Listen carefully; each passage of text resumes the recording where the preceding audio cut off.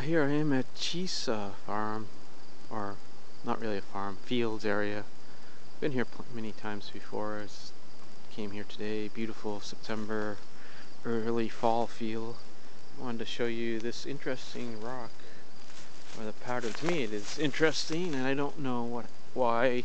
I used to know why it, these patterns were, or what they were, quartz or something. You know, back in the day when I was learning in school, but thought I'd show you this. It's kind of a cool looking patterns on this rock.